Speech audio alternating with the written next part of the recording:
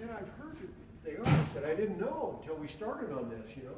He said, yeah, he said, just ask the dude if he's interested in selling.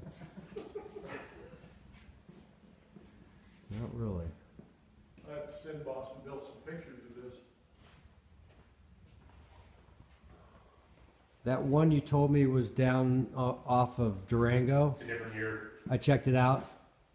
It's, yeah, it's a sixty-three, I didn't realize, yeah, we saw it yesterday when I was dropping this truck off.